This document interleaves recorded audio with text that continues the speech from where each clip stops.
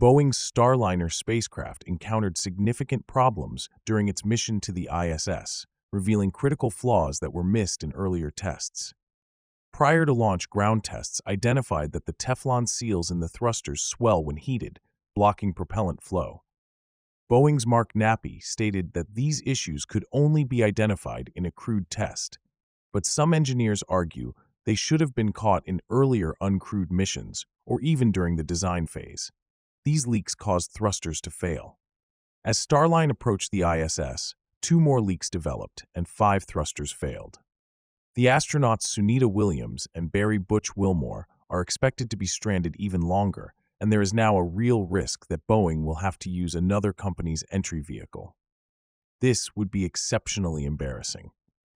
More so with their reputation in tatters already.